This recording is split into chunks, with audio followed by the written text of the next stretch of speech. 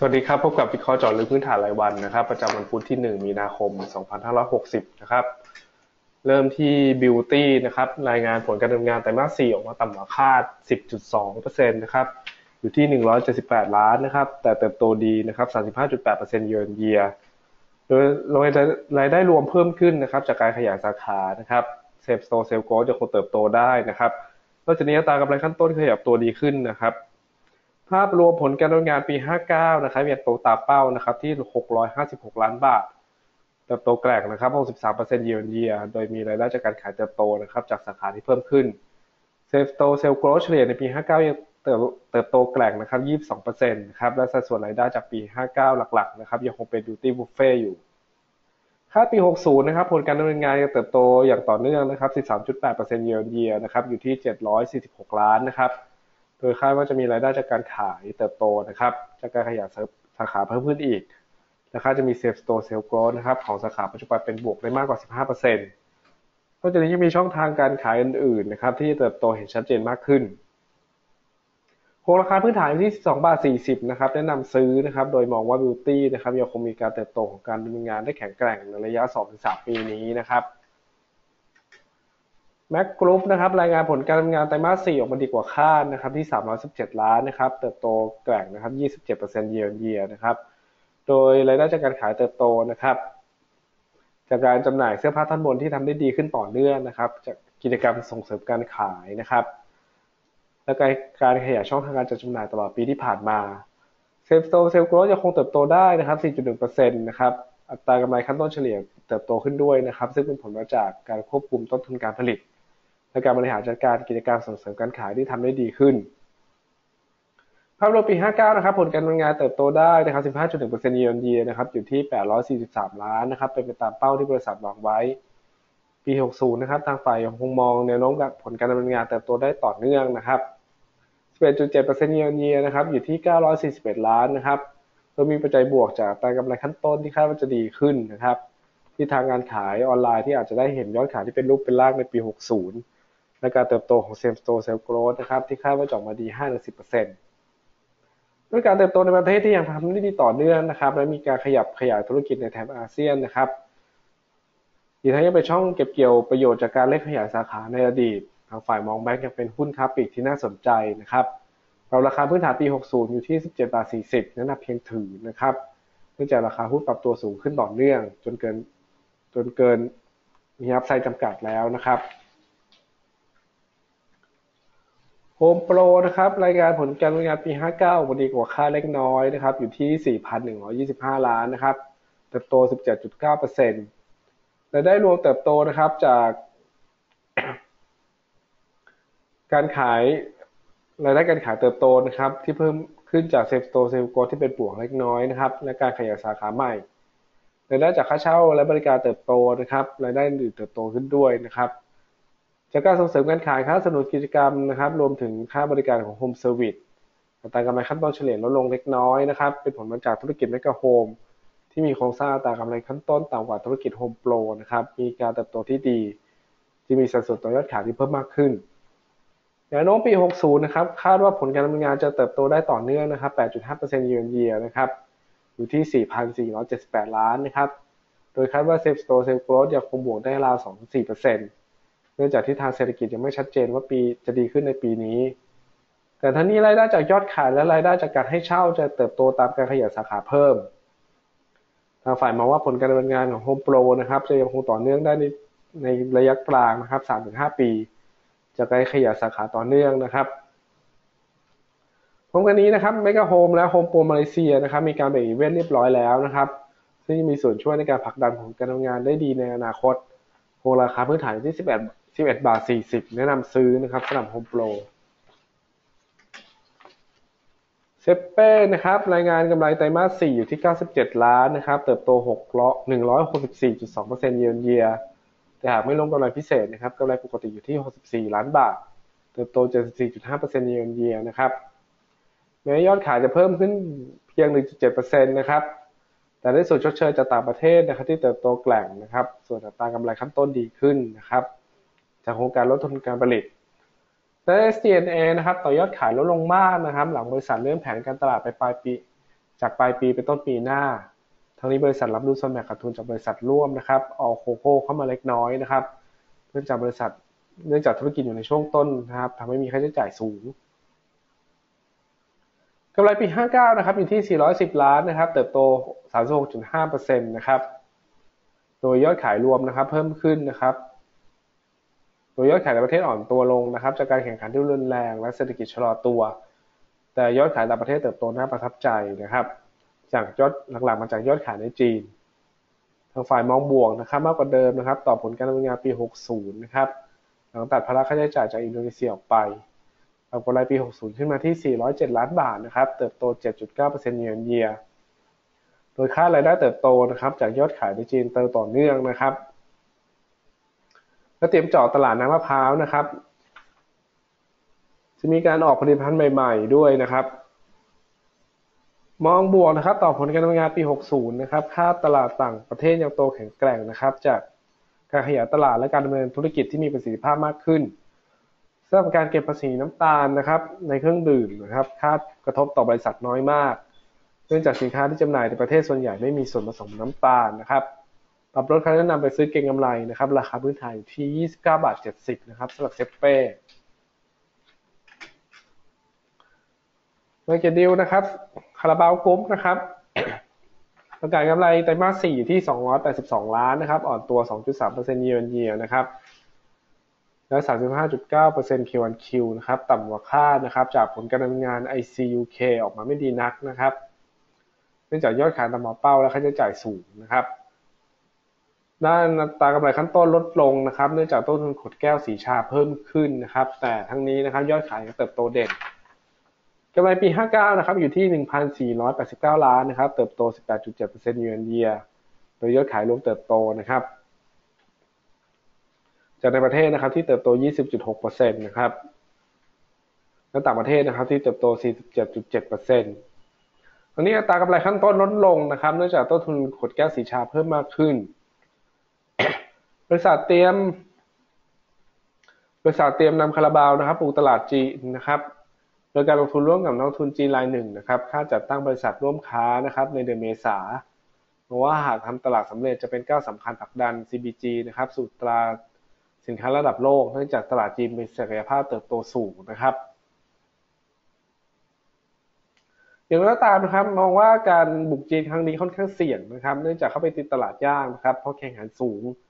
และการกระจายสินค้าให้ทั่วถึงมีความท้าทายอีกทั้งต้องใช้งบการตลาดจำนวนมากนะครับ ทางฝ่ายปันกำไรลงมาที่ 1,554 ล้านนะครับ เติบโต 4.3%เยียร์เยียเนื่องจากแรงกดดันจากผลประกอบการของ ICUK ที่ค่าไม่ยังติดลบนะครับ แผนบุกจีนมีความเสี่ยงที่จะใช้เงินลงทุนมากนะครับ และคาดผลขาดทุนจากจีน จะฉุดผลการทำงานรวมอย่างมีนัยสำคัญนะครับ ค่าใช้จ่ายดอกเบี้ยอาจเพิ่มขึ้นนะครับ จากการกู้มาขยายโรงงานนะครับ เป็นนักฝ่ายบอกว่าการขยายตลาดในอังกฤษและจีนเป็นการสร้างรากฐานเพื่อเติบโตอย่างมีศักยภาพในอนาคต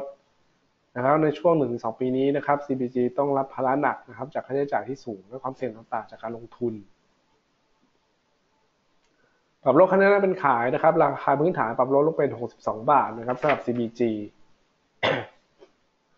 ซูเปอร์นะครับบริษัทรายงานผลการดำเนินงานปี 59 นะครับ อยู่ที่ 362 ล้านนะครับ พลิกจากขาดทุนนะครับ713 ล้านบาทโดยเวนตัมของกำไรกลับมานะครับ หลังจากบริษัทเริ่มดำเนินการเชิงพาณิชย์ในโครงการลงไฟฟ้าพลังงานแสงอาทิตย์ 730 เมกะวัตต์นะครับแนวโน้มปี 60 นะครับคายังเห็นการเติบโตของกำไรนะครับ จากการรับรู้รายได้โครงการในมือได้อย่างเต็มปี ในส่วนที่อยู่ระหว่างพัฒนากำลังกำลังผลิตราว 60.4 เมกะวัตต์นะครับ ขณะที่ต้นทุนทางการเงินจะลดลงตามเงินที่ทยอยชำระและ SG&A ที่เกิดขึ้น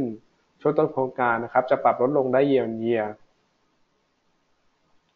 ที่ประชุมกรรมการมีมติงดจ่ายปันผลนะครับสำหรับผลการดำเนินงานปี 59แต่เพราะวันนี้มีมติอนุมัติการโอนส่วนเกินหุ้นมูลค่ามูลค่าหุ้นเพื่อชดเชยผลขาทุนสะสมนะครับ713ล้านบาท ตามงบการเงินปี 59 นะครับ ทางฝ่ายมองว่าเป็นผลบวกต่อผู้ถือหุ้น ซึ่งบริษัทจะสามารถกลับมาจ่ายปันผลได้จากผลการดำเนินงานปี 60 เป็นต้นไปนะครับ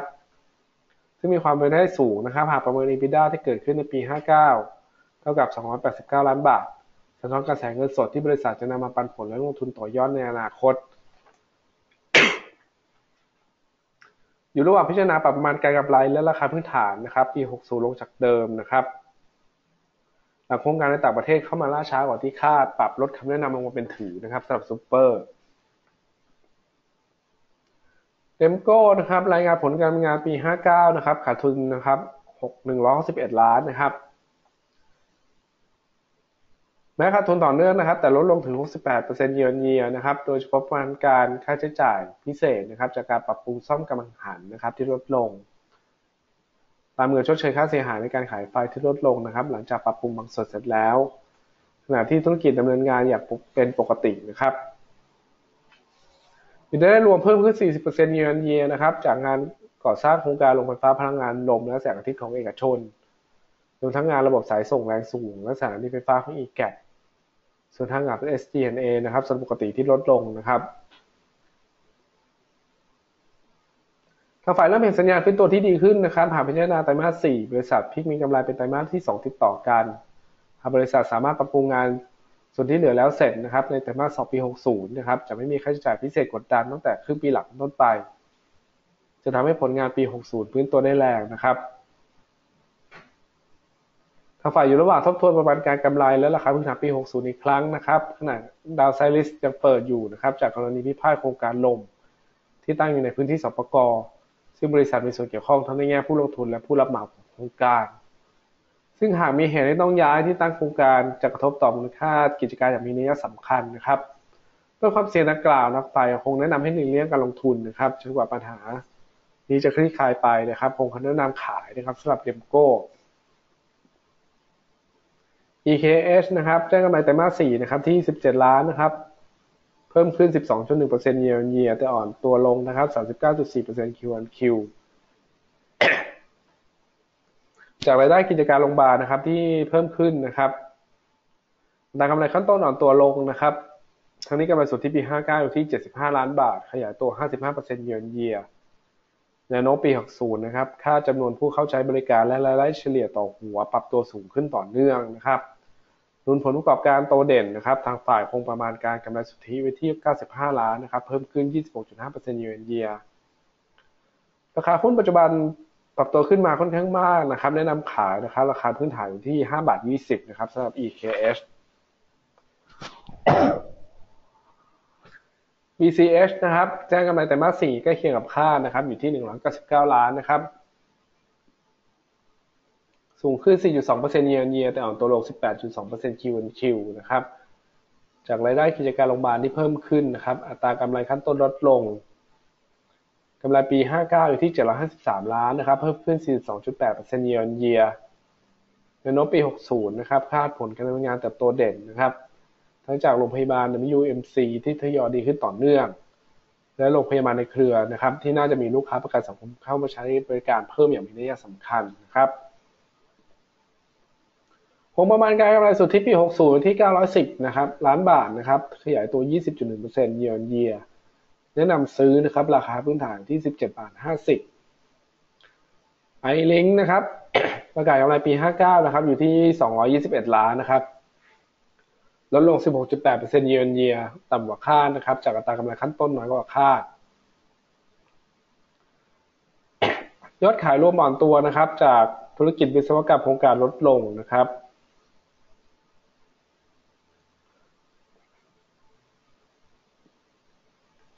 ทางฝ่ายมัมโบต่อปี 60 นะครับค่าพื้นตัวได้ดีจากธุรกิจวิศวกรรมทยอยรับรู้งานในมือจากปี 59ได้มีแนวโน้มงานใหม่เข้ามามากขึ้นนะครับ ส่วนธุรกิจ i t e l เติบโตต่อเนื่องนะครับ แนะนำซื้อราคาพื้นฐานที่ 22 บาทนะครับสำหรับ i l i n k i t e l นะครับ ประกาศกำไรไตรมาสกำไรปี 59 นะครับ อยู่ที่ 67 ล้านบาทนะครับ เติบโตถึง 119% year on year ยั ยังต่ำกว่าคาดนะครับ จากอัตรากำไรขั้นต้นน้อยกว่าคาดยอดขายรวมอยู่ที่ 806 ล้านนะครับ เพิ่มขึ้น 87.5% year on year โตจากทุกส่วนงานนะครับ โดยแบ่งเป็นโครงการบริการโครงข่ายนะครับ เพิ่มขึ้น 46.3%นะครับ บริการติดตั้งโครงข่ายเพิ่มขึ้นนะครับ และรายได้งานใหม่เข้ามาหนุนในการพื้นที่ Data Center นะครับ เพิ่มขึ้นนะครับ ทั้งนี้ค่าเสื่อมราคาจากการขยายโครงข่ายนะครับกดดันอัตากำไรกำไรขั้นต้นให้ลดลงนะครับ ทางฝ่ายมองบวกต่อปี 60 นะครับ แนวโน้มลูกค้ารายใหม่ทยอยเข้ามาใช้บริการโครงข่ายมากขึ้นแนะนำซื้อนะครับ ราคาพื้นฐานที่ 13 บาท 40 เซนเทลนะครับรายงานกำไรสุทธิปี 59 นะครับ อยู่ที่ 1,850 ล้านนะครับ เพิ่มขึ้น 11.2%เยือนเยีย ใกล้เคียงกับที่คาดนะครับ จากรายได้ธุรกิจโรงแรมและอาหารที่เติบโตนะครับ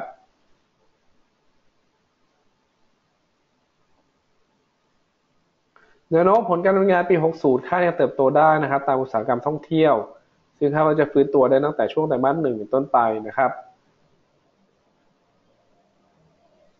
ราคาปรับตัวลงมานะครับทำให้เริ่มมีอัพไซด์ที่น่าสนใจมากขึ้นทางฝ่ายปรับคำแนะนำเพิ่มเมื่อปิดซื้อนะครับ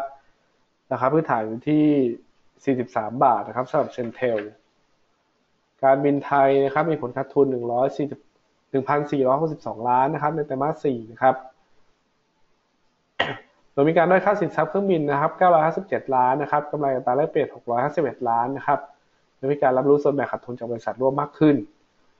ทั้งปี 59 นะครับมีกำไร 15 ล้านบาทนะครับดีขึ้นจากปีก่อนนะครับที่ขาดทุนถึง 13,068 ล้านนะครับ การแข่งขันที่ยังสูงนะครับยังคงกดดันรายได้ต่อหน่วยในปี 60 นะครับ แต่ก็คาดว่ารายการพิเศษต่างๆ จะลดลง คงราคาพื้นฐานที่ 18 บาท 70 แต่ยังคงแนะนำขายนะครับสำหรับการบินไทย STA นะครับไตรมาส 4 พลิกมาขาดทุนสูงถึง 1,303 ล้านบาทนะครับ จากรายการพิเศษนะครับ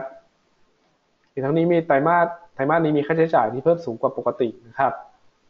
ยอดขายเพิ่มขึ้นนะครับ ขณะที่ราคาขายเฉลี่ยเพิ่มขึ้นด้วยนะครับ ส่งผลให้มาจิ้นเพิ่มขึ้นในทางฝ่ายคาดว่าราคายางในปีนี้จะมีแนวโน้มที่ดีนะครับและหนุนการดำเนินงานและฟื้นตัวแต่หากการดำเนินงานที่ออกมาค่อนข้างน่าผิดหวังทำให้ทางฝ่ายปรับประมาณการใหม่นะราคาปัจจุบันปรับลดการแนะนำเป็นขายนะครับ โดยระหว่างอยู่ระหว่างปรับราคาพื้นฐานใหม่ RJH นะครับแจ้งกำไรไตรมาส4ใกล้เคียงคาดนะครับที่ 36 ล้านนะครับ เพิ่มขึ้น 48%เย a r on year นะครับ แต่ลดลง 25% Q on Q จากรายได้กิจการโรงพยาบาลที่เพิ่มขึ้นนะครับ อัตรากำไรขั้นต้นนะครับ เพิ่มขึ้นกำไรสุทธิปี 59 นะครับ อยู่ที่ 155 ล้านนะครับ เติบโต 96%เยือนเยียแนวโน้มปี 60 ค่าจำนวนผู้เข้าใช้บริการและรายได้เฉลี่ยต่อหัวเพิ่มสูงขึ้นอย่างมีนัยยะนะครับ โดยเฉพาะลูกค้า IPD จากแผนขยายจำนวนเตียงเพิ่ม คงประมาณการกำไรสุทธิปี 60 60 นะครับ ไปที่ 206 ล้านบาท ขยายตัว 30%เยือนเยียแนะนำซื้อนะครับ ราคาพื้นฐานอยู่ที่ 29 บาทนะครับสำหรับ RJH True นะครับ ผลการดำเนินงานปี 59มันดีกว่าที่คาดนะครับ โดยเดิมคาดว่าจะขาดทุน 3.7 ล้านนะครับ เนื่องจากค่าใช้จ่ายทางการตลาดในช่วงไตรมาส 4 ของธุรกิจ To Move Edge นะครับ ไม่มากอย่างที่คาดไว้นะครับ ส่งผลการดำเนินงานในไตรมาส 4 มีผลขาดทุนอยู่ที่ 1.7 พันล้านนะครับ เทียบกับ2.7พันล้านในไตรมาส3ที่ผ่านมานะครับสำหรับผลการดำเนินงานปี 59 ลดลงเป็นขาดทุนนะครับที่ 2,800 ล้านนะครับ จากที่เคยกำไร 4,400 ล้านบาท เนื่องจากผลการงานที่ลดลงนะครับ จากธุรกิจ TrueMove H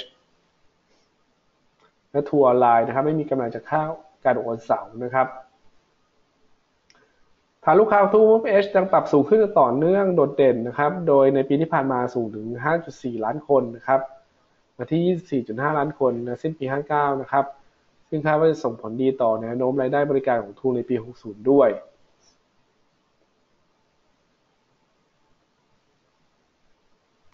อย่างไรก็ตามนะครับทูวางงบลงทุนไว้ราว 4 48,000 ล้านนะครับ ค่อนข้างสูงกว่าที่ประมาณการไว้ทำให้ทางฝ่ายมีการปรับประมาณการกำไรทั้งปีลงนะครับ หลัง จากประชุมนักวิเคราะห์ ด้วยสมแบบการตลาดของธุรกิจหลักอย่าง t ู Move Edge เนี่ยขยับสูงขึ้นต่อเนื่องนะครับมองส่งผลดีต่อแนวโน้มผลการดำเนินงานในอนาคตนะครับ แนะนำทยอยซื้อนะครับ ราคาพื้นฐานอยู่ที่ 7 บาทนะครับสำหรับ True เดมโก้นะครับรายงานผลการดำเนินงานปี 59 นะครับขาดทุนสุทธินะครับ 161 ล้านนะครับนักการทุนต่อเนื่องแต่ลดลงถึง 68%เยือนเยีย